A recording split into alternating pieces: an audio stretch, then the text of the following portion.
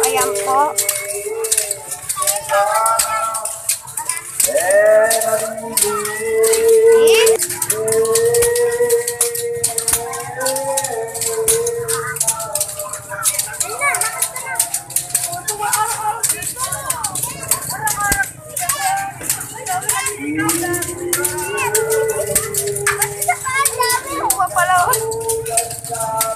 Pati sa li-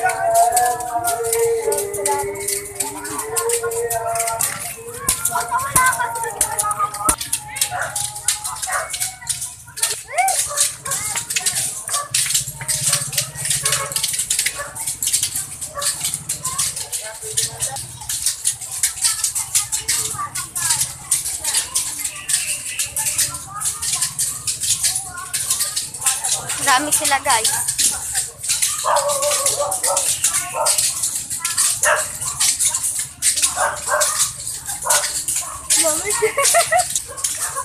yan po, si tito ko po yan.